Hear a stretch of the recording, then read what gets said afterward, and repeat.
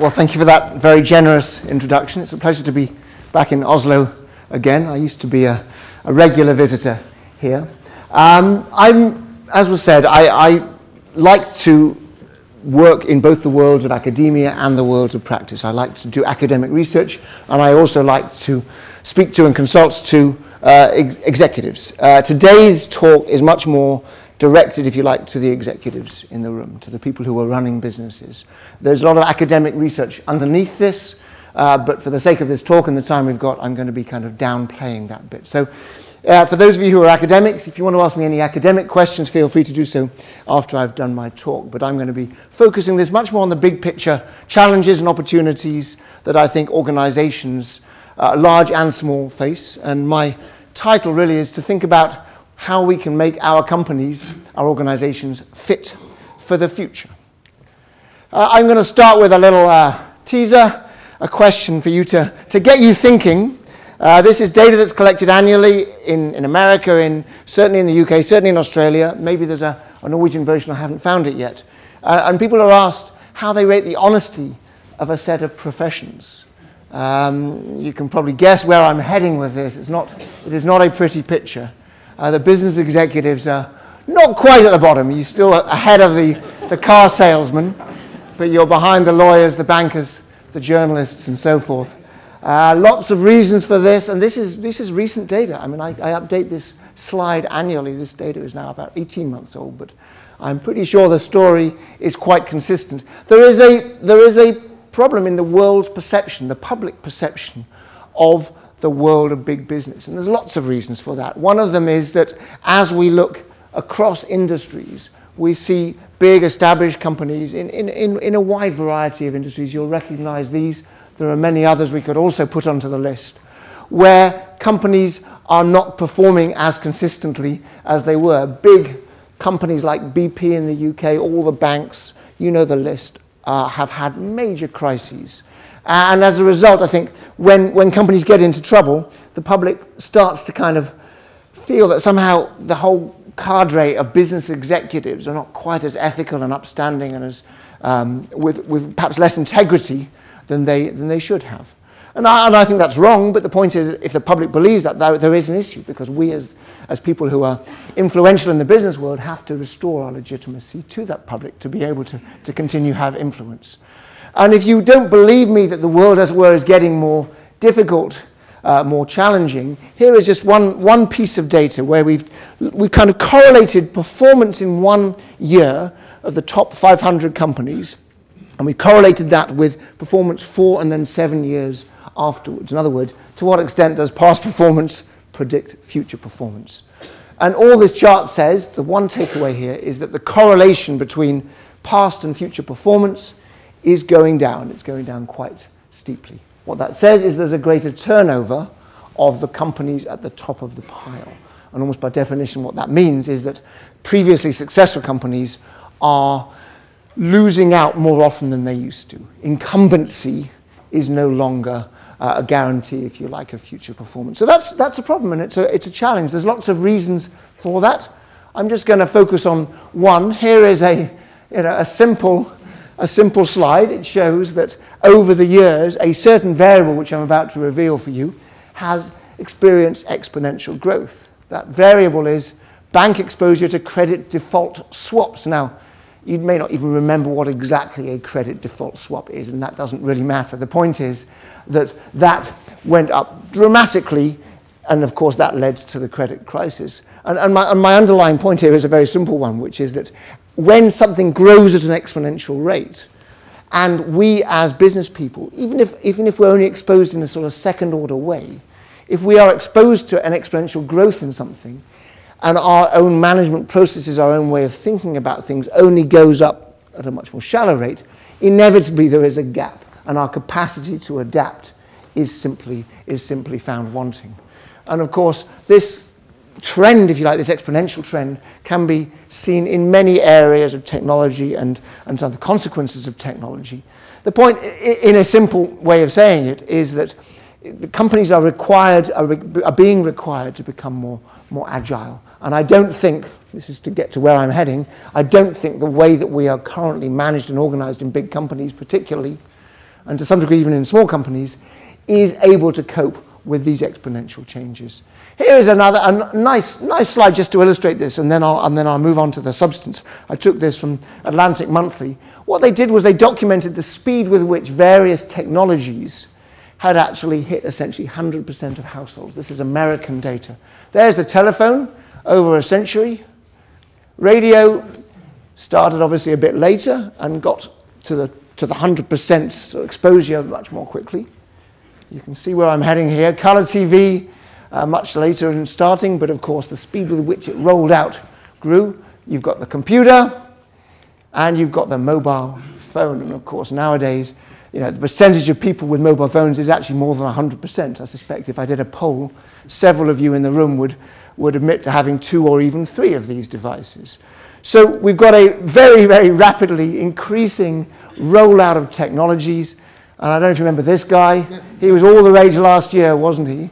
He's now kind of disappeared again. But it took six months for this guy to, Psy, his name was P-S-Y, to go from being a completely unheard of guy outside of Korea to having one billion views uh, on YouTube. Uh, and of course, we know exactly what's going on here. The viral nature of, of, of information uh, dissemination allowed this guy, as I say, to become world famous uh, from a standing start in less than a year. So, so there's, there's a lot of stuff happening, and, and I guess we all experience this in its different shapes and forms. What's my kind of contribution to this? Uh, it is the following. It is to say that firms need to find better ways of responding to this world of accelerating change. Uh, it was mentioned that I founded with Gary Hamel a thing we call the M-Lab, the Management Innovation Lab Laboratory. And the purpose of that lab was, was very simple. We said to ourselves, we as academics shouldn't be just viewing companies from afar. We should actually be working with companies to help them to become better at managing. And the kind of the, the aha moment we had, and this was six or seven years ago now, was that when we talk about innovation, we often obsess about technology innovation. We often obsess about the latest iPad or iPod or whatever it is as a product innovation. That's the stuff that we can physically hold on to. But if you think about it for more than a few seconds, you realize that innovation as a concept applies, of course, to any aspect of the, the things that we do, the products we sell, and the ways that we work. So our Management Innovation Lab was all about enlarging our view of innovation so that innovation becomes uh, an, an investigation into how we can work more effectively rather than just in terms of the products or services that we make. So that I, I, I came up with this concept of management innovation as a sort of an, a sort of an often ignored aspect of innovation that we should be taking seriously as academics as well as as business people.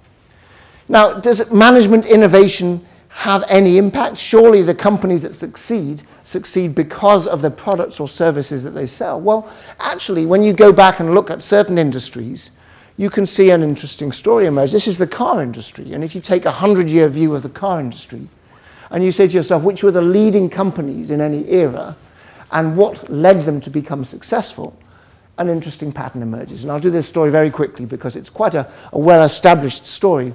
Ford Motor Company, what was their biggest invention? Was it the Model T Ford? I would argue it was the assembly line that allowed them to create the Model T Ford at unprecedentedly low cost. They managed to create a product for the masses through innovations in process, innovations in how they created the product.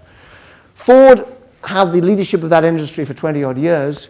Then, of course, General Motors uh, and Alfred P. Sloan is that chap there, uh, in the 1930s took leadership from Ford. How did they do that? Well, those of you who are students of business know this story. You know, Alfred P. Sloan's big invention was arguably the multi-divisional structure, you know, a, a, simple structural innovation that said we are going to decentralize the management of the various different brands from Chevrolet to Oldsmobile to Cadillac into essentially operating companies. And we at the center are going to keep control of a few things like the money and so forth. Now, of course, today that's just the standard way of organizing any big company. But the point is that innovation around how we organize came from Sloan and a couple of other companies in the 1930s. For the academics in the room, of course, this is Alfred Chandler's uh, famous book, was the thing that kind of documented how this evolution emerged.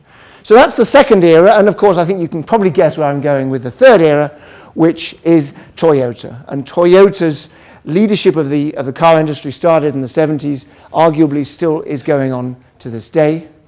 And Toyota's innovation, of course, was the whole thing which we now call total quality management or lean manufacturing.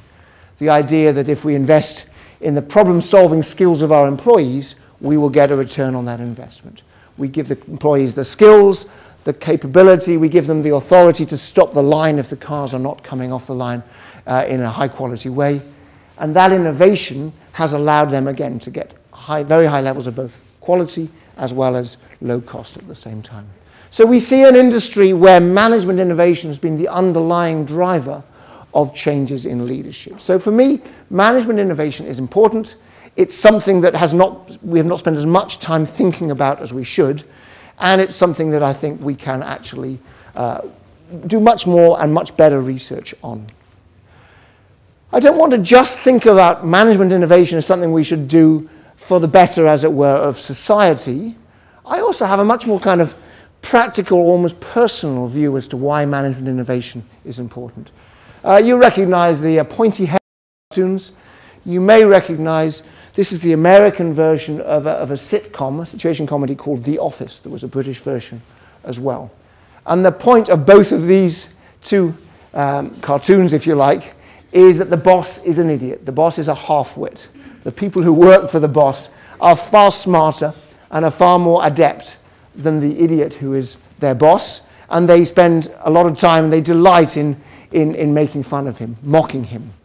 And of course, the only reason this is funny is because it has some semblance in truth. We've all recognized at some point in our careers uh, bosses who we didn't think much of, bosses who were micromanagers, bosses who tried to take all the glory when everything worked, bosses who didn't even understand what we were doing. Alas, there is some truth to that, and I'll just give you one more piece of evidence, if you like. This is a, another little quiz. Uh, this is data that I stole from an economist in London. Who are you happiest spending time with? He studies happiness. I was reading actually, I'm, I'm sure you saw this story. Norway is the, the, most happy, prosperous country in the world, according to certain statistics. At a much more micro level, uh, it turns out that we are happiest with our friends, our parents, and so forth. Once again, I'm going to draw your attention to the bottom of this chart. Uh, let me just spell it out for you in case you haven't got the point. We are happier alone. We are happy speaking to nobody than hanging out with our boss. And if you think about it, that's a bit depressing because for us, most of us, you know, the boss is somebody who's kind of around us all the time. You know, if we could have a good relationship with our boss, he or she would be happy, we'd be happier. But the evidence says that on average, we would prefer to be locked away in a dark corner rather than spending time with him. So that's, that is emblematic of a bigger kind of malaise in big organizations. This is particularly a big organization phenomenon. When I look at small companies, very often 20, 30, 40 people, they work quite nicely together. It doesn't mean the boss isn't an idiot, but it does mean that they, they have a vibrancy that gets over some of the real problems of, of bureaucracy and corporate think that this is attesting to. So I, I've, as I said, I've spent the last five or six years of my career trying to say to myself, look, management as we know it today isn't working very well. It's not very agile. The systems we've created don't allow us to adapt as quickly as we'd like them to, given the way that the world is changing. And at a much more micro level, management, in the way that we behave as individuals, is not making happy uh, and, and engaged employees. So there's something basically kind of problematic about the way that management happens, particularly in large companies. So I wrote my book, Reinventing Management, with a view to try to offer some helpful thoughts about how we could change the world of management for the better. And what I'm going to do is I'm going to give you kind of the executive summary of that, that book over the next 20 or 30 minutes. Uh, it's useful to start with the following kind of framing device. If you say to yourself, what does the future of management look like? You know, there's two kind of schools of thought here. One is that the future of management will be radically different to anything we've seen before. We are on the cusp of a great uh, change over an inflection point, if you like, in the way that management work is done, and we can point to various internet-based technologies to convince us of that. Or you can take the view that there's nothing new under the sun. That says, I don't see that management got anything out of those sensitivity training workshops. And the philosophy behind that is, you know, the ancient Greeks, the ancient Romans, they did management as well. You know, human nature hasn't changed. Why would we expect anything about the way that management happens to change? And of course, I've got some sympathy for both camps here. Um, and, and let me just illustrate it in the following way, which is that if you look at the words we use to describe the work of management, this particular slide is borrowed from my old friend Gary Hamel, and he says, look, on the left-hand side, we see the kind of the classical words that describe what management does. What is management? Management's getting work done through others. It's about planning, organizing, controlling, budgeting, all that classical stuff. If you've ever taken any studies here or anywhere else about management, at some point, somebody has kind of given you that kind of dictionary definition of management as the stuff on the left.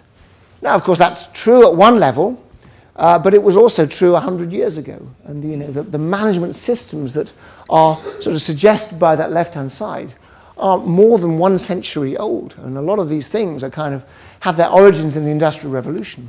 You look at the right-hand side, and of course, this is the language of the internet. This is the language of our children, uh, the social networking kind of generation. But it's not just how kids interact with each other through, um, through various or instant messaging services. This is also the sort of the, the language of management as practiced by, for example, the open source movement.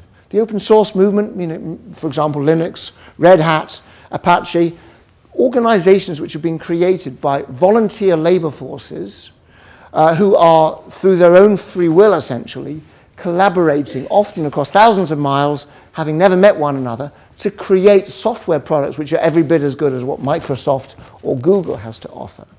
And they are doing, as I say, through a set of mechanisms which are broadly speaking horizontal mechanisms rather than vertical mechanisms. Now, I don't want to overplay that distinction because if you go and have a look at the, you know, the, the world of Linux, you actually see some sort of hierarchy as well as some sort of horizontal mechanism. But nonetheless, the point is, arguably, we're at a little bit of a, a crossroads in terms of the way that management work gets done between the old world of, of, our, of our, our generation and our parents' generation and the new world of our children's generation.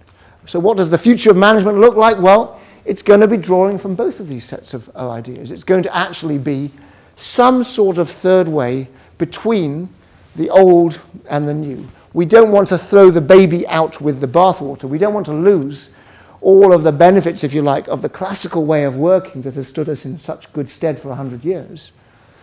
But neither should we kind of, if you like, avoid the, the opportunity afforded to us by particularly new technology, by particularly the way that the next generation uses technology and communication devices to get work done through others.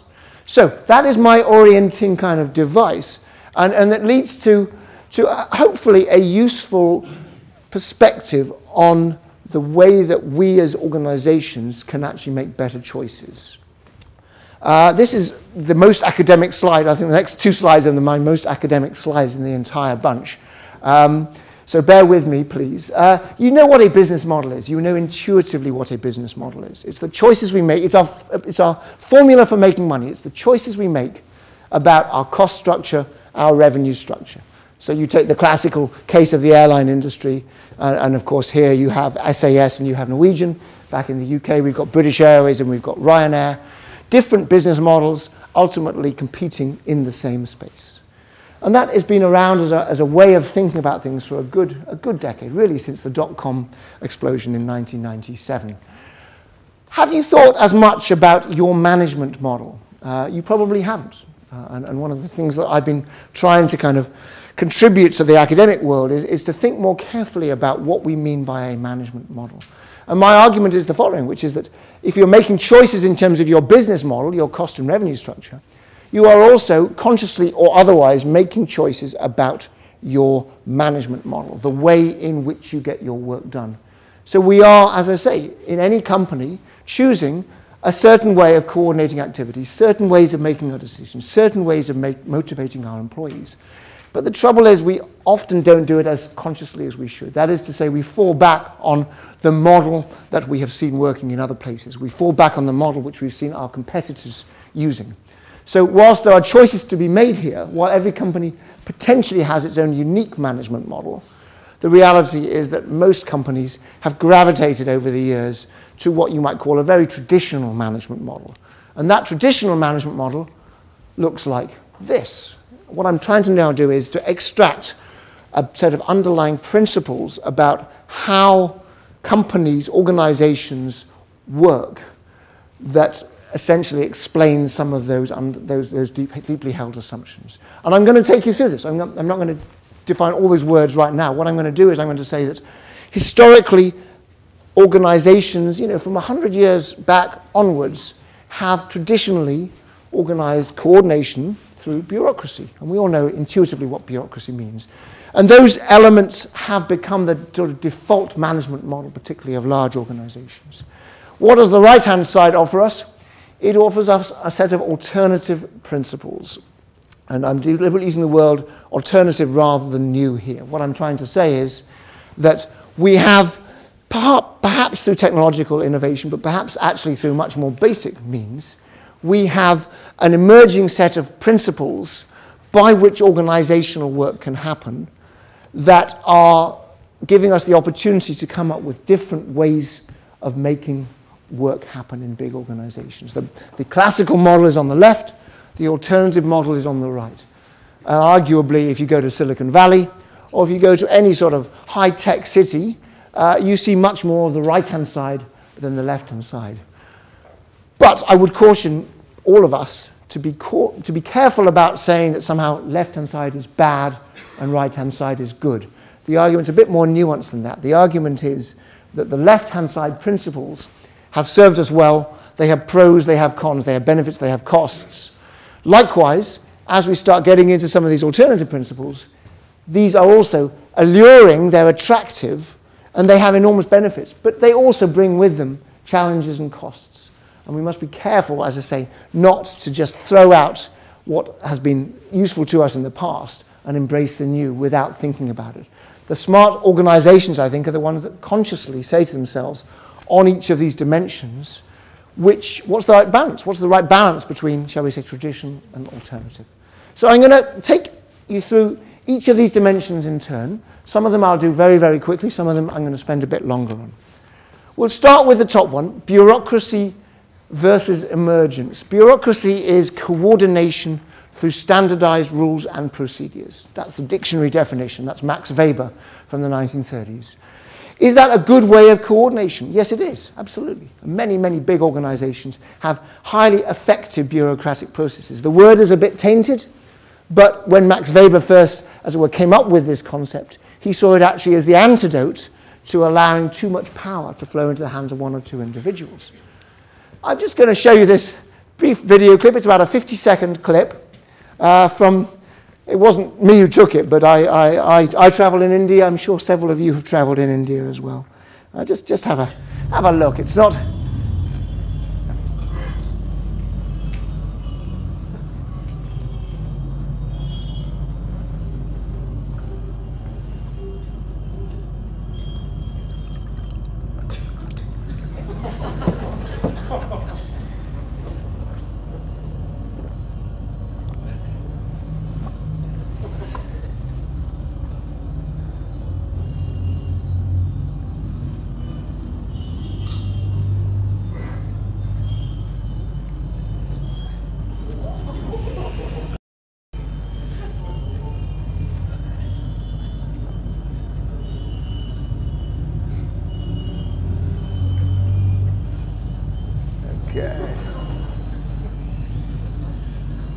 Okay.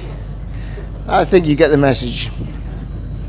So, um, I mean, that's just an internet clip, as you some of you might even have seen it. Um, it's chaos, but it's chaos that works, right? I think you've probably guessed that's where I'm, I'm heading. Um, and for people like me, people like yourselves, brought up, if you like, in cities which have lots and lots of regulations and rules and order, this feels a little bit, make, it makes us a bit nervous, right? I mean, I've, I've, I've driven through places like that and I, I get very, very nervous.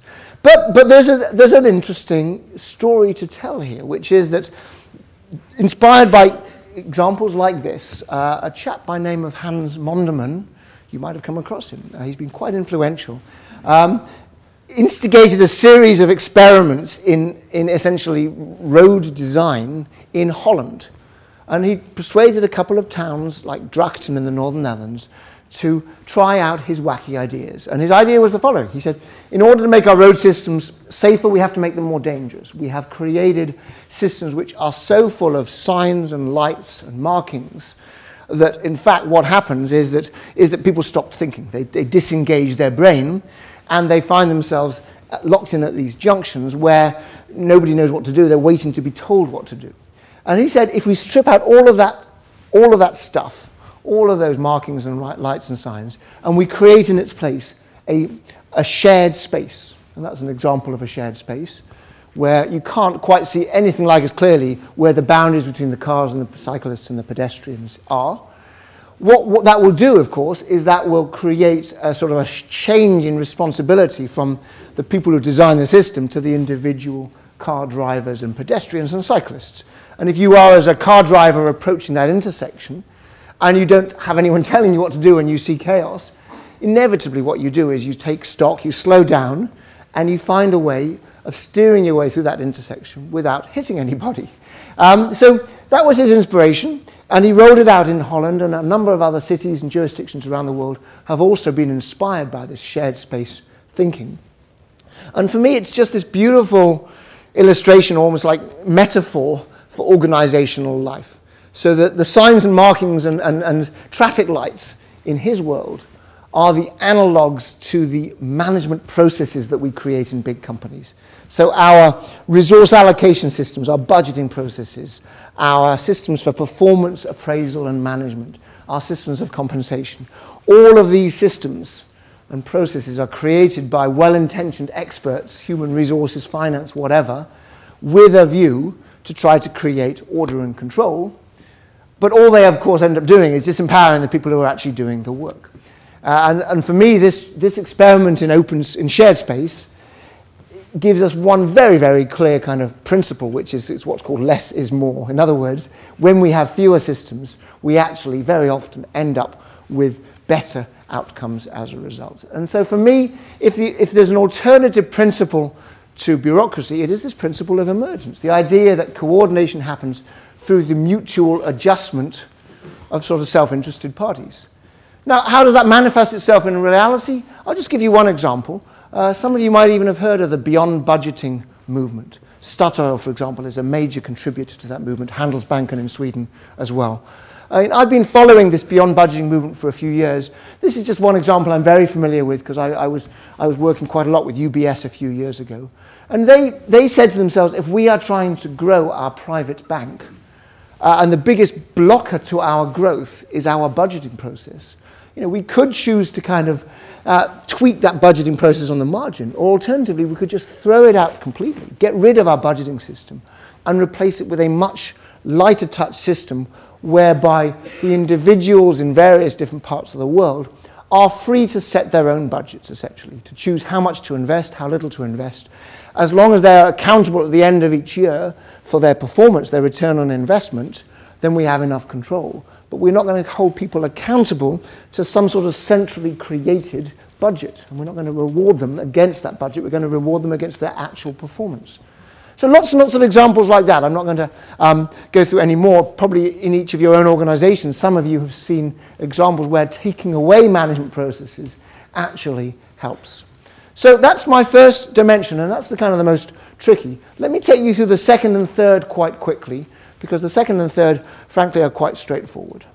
Uh, the second is what we can call the decision-making process in big organizations. And, and, and intuitively, you already know what's going on here. We can make decisions through the hierarchy. I can make a decision which affects you as my subordinate, and I have every piece of authority to do that. Or we can adopt a model which says that actually, if you take the masses, the, the, the, the, wisdom of the crowds, the people at the front line of our organization, and you aggregate up their views, very often you can make much better decisions as a result of that collective wisdom. And this is manifesting itself in all sorts of places, and you've all got your own examples. I, I think Wikipedia is, is still probably the, the, the ultimate example of knowledge bases accumulated together in a single place to sort of provide a repository of information that we can all use. I think the, the wisdom of the crowd versus the expert plays itself out very nicely in the, in the famous game show Millionaire. And you've all seen that show, I'm quite sure. What you can, if, you, if you're stuck on a question, you can ask the friend, who of course you choose because they're smart, or you can ask the audience. And it turns out that the audience gets the question, the answer right nine tenths of the time, whereas our learned friend gets it right two thirds of the time. Now, the learned friend gets the tougher questions right. He or she gets the questions right at the end where they're, they're some obscure story in history or whatever. But the point is, depending on the question, you might want to have an expert answer it, you might want to go to the hierarchy, or you might want to tap into the wisdom of the crowds. And so there's many, many examples of companies experimenting with good ways of using this kind of collective wisdom process. I'll just give you one example. I mentioned this company briefly earlier. Red Hat is a commercial organization which sells essentially services on top of the Linux platform. Um, and the, the, the, the, the guy running it, um, he's, he's, he came from Continental Airlines, actually. Jim Whitehurst is his name. Uh, and he, he said, I'm going to now create an open, collective wisdom based strategy process. It's not my job to define the strategy for this company. We are working in a networked world. I'm going to create teams of people who are cross-functional in nature, who are going to define the domains in which we're working and the priorities within each of these domains. And my job essentially is to pull those thoughts together and to come up with a strategy that we can all buy into. And as he says, this takes a whole lot longer as a process, but of course, once we've figured out what we're doing, the actual implementation of that strategy is a whole lot quicker. So, you know, many, as I say, many organizations have tried various ways of tapping into the wisdom of their people, either to come up with new ideas or to implement those ideas. It is not a risk-free process. If you've ever tried any sort of idea forum at your organization to try to, to tap into the views of the many, there are many times when it fails. I'll give you one example where it failed. This is Obama's first term in office. So when he was first elected, before he actually took office, he had the bright idea of opening up a citizens briefing book. And he said, let's use technology, let's use the wisdom of the crowds to get people to inform me about the policies they'd like to see me working on. So round one was he just tapped into anybody and everybody's ideas. And then he sorted out those ideas and he came up with a, a list, a shorter list. And then he asked people to vote for the ideas that they think they thought were most important for him to focus on when he moved into the Oval Office. Any ideas what was top of the list? ending marijuana prohibition. There you go. Uh, then something about the, being a green country, something else about marijuana, uh, something very, uh, sex education, obviously important, bullet trains. Number six didn't quite make the top five, was to give the Church of Scientology tax exempt status. So you see what's going on, right? Special interests prevailing. And, and you know, you could say, well, maybe these are the most important issues facing America. But, you know, in 2009, if you recall, he had some quite important challenges on his plate, you know, like just, you know, a complete meltdown of the economic system. So, so you see where I'm going. I, what I'm, the essence is that wisdom of crowds, the idea that we want to tap into the masses to hear their views, is a, is a blunt instrument. And if it's used badly, it often backfires. So this particular initiative was shelved what he should, clearly should have done is thought much more carefully about the domains within which he wanted advice. If you ask a very broad question, you will get any number of completely flippant or useless or self-centered answers.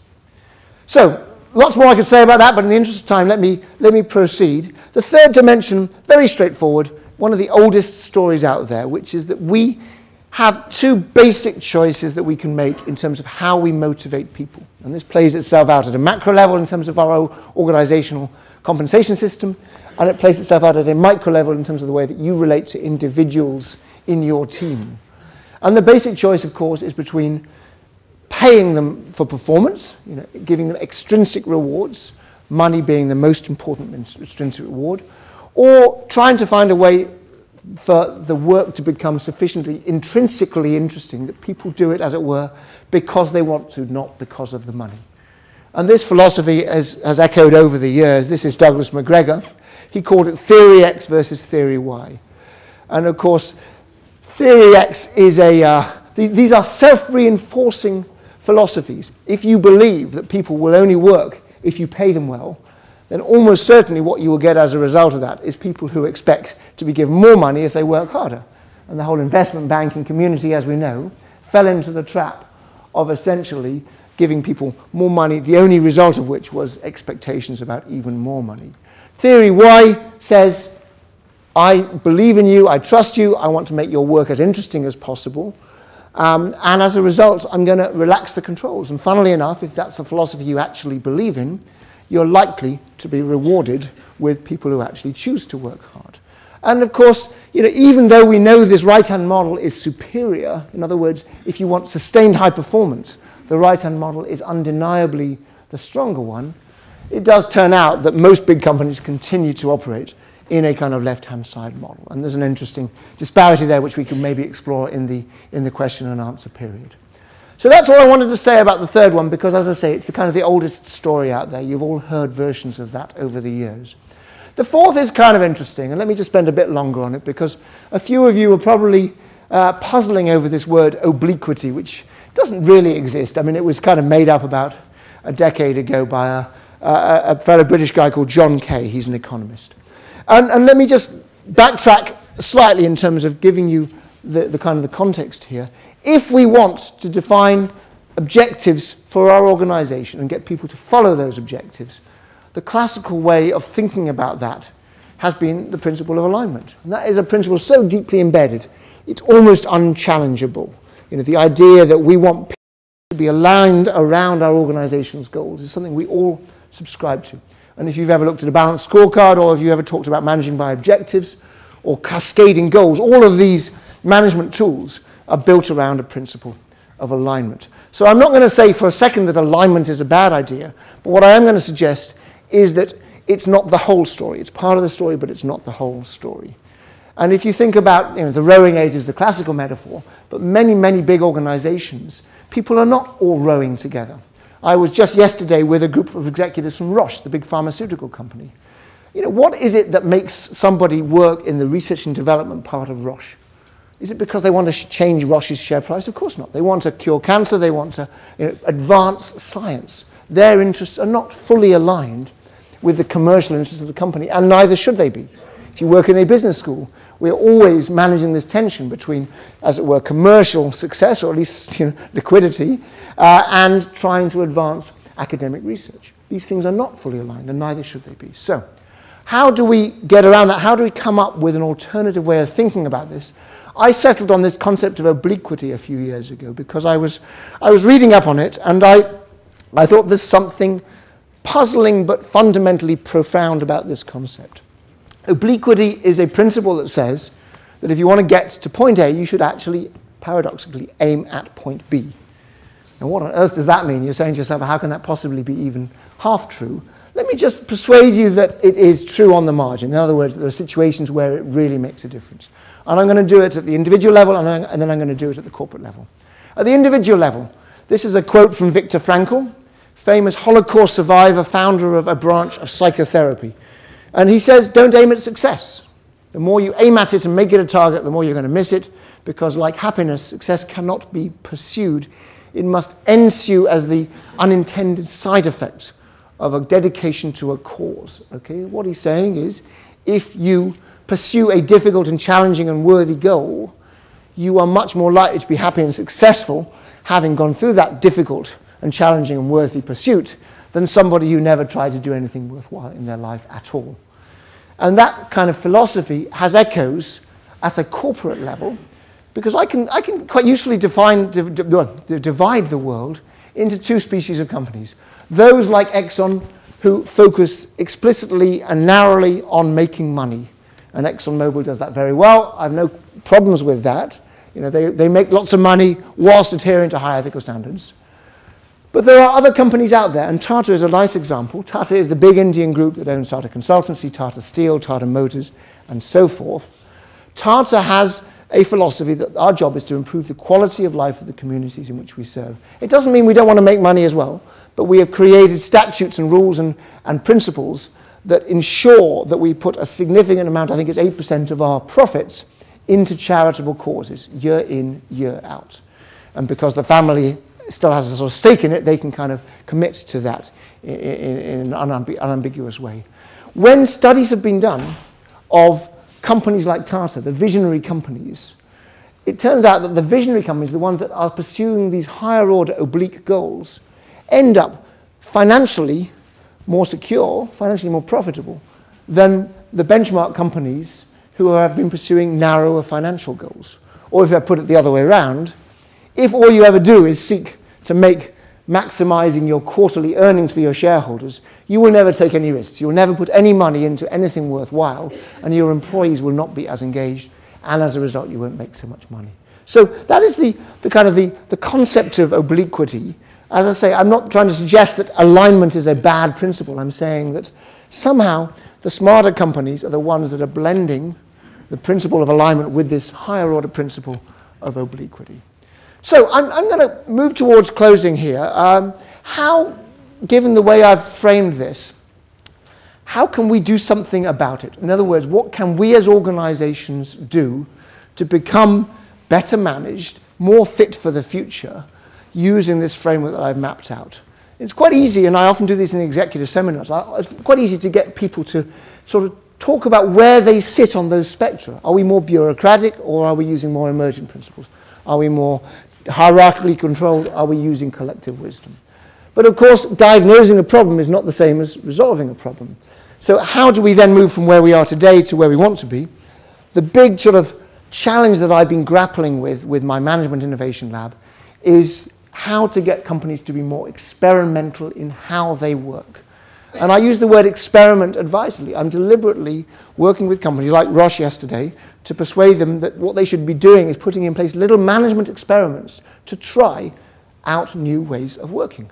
And I'll just give you one example from Roche uh, before finishing with a, with a story from a very different world.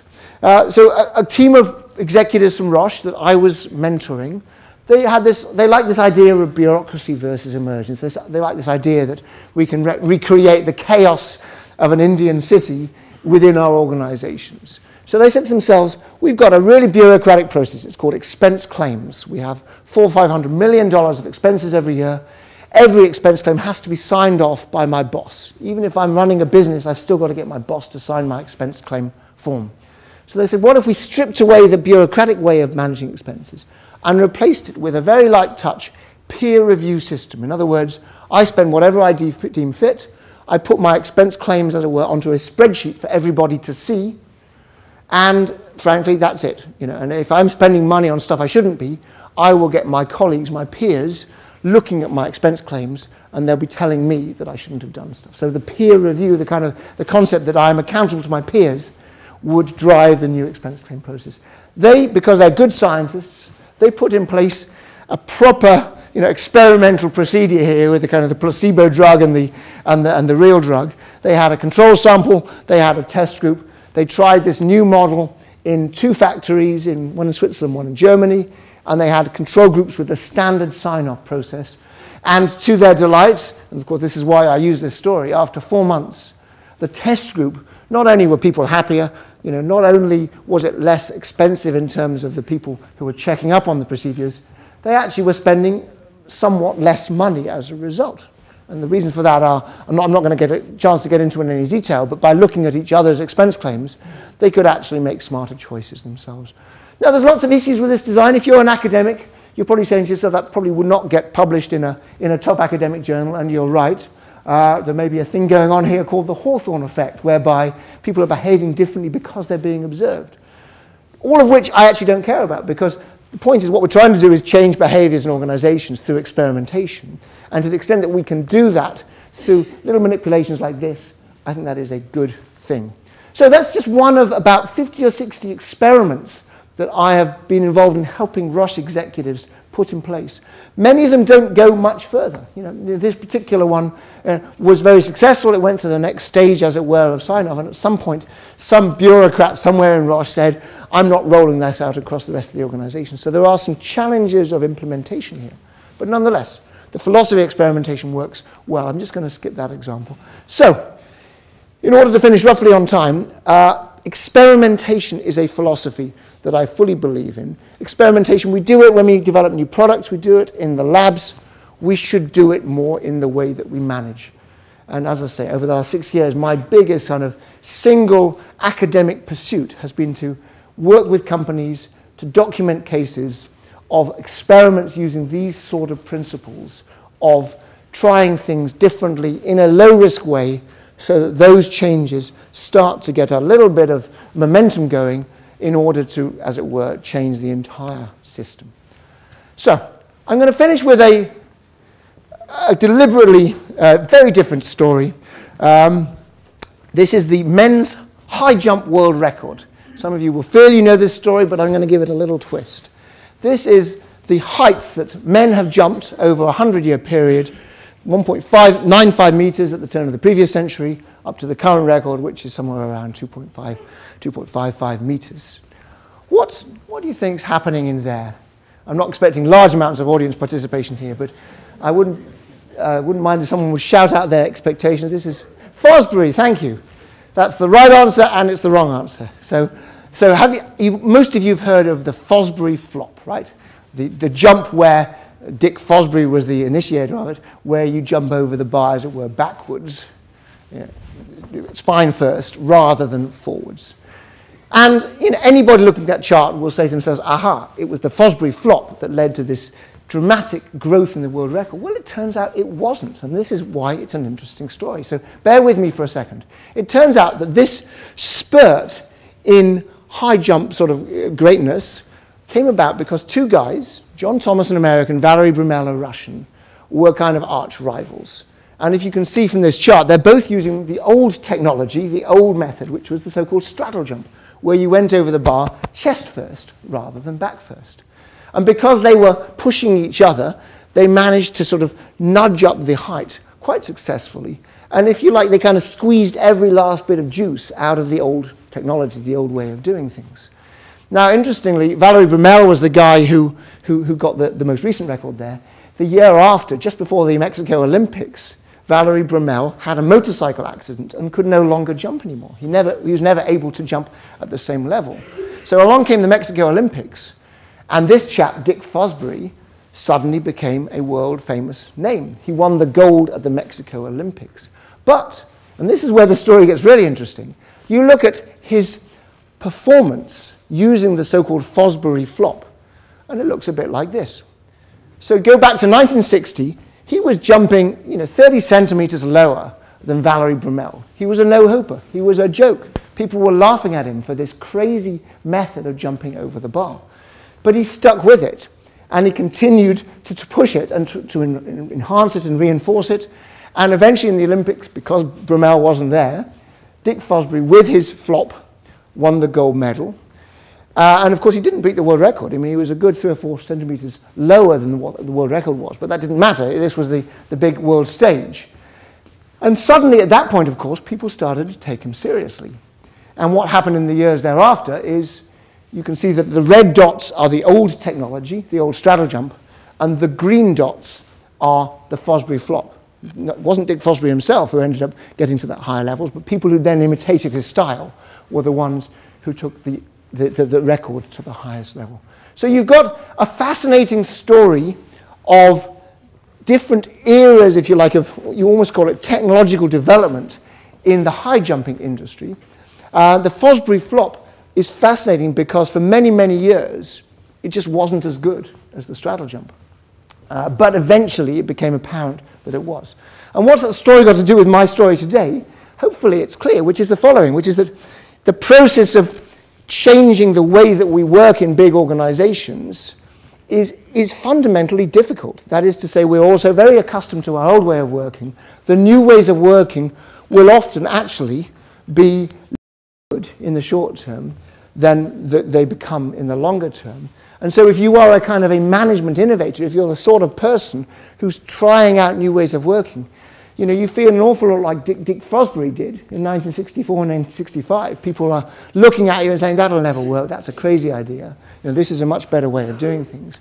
But if the underlying capacity of that technology or, or way of working is superior, and if you stick with it, ultimately it kind of prevails and takes over. So, you know, this, if you've ever studied technological innovation, this looks an awful lot like, like disruptive technology thinking, uh, and it is, uh, but it also applies very much to management evolution and management revolution as well. So I'm going to close there. I've got a rather corny way of finishing, but I'm going to try it anyway. Which are the companies that are fit for the future?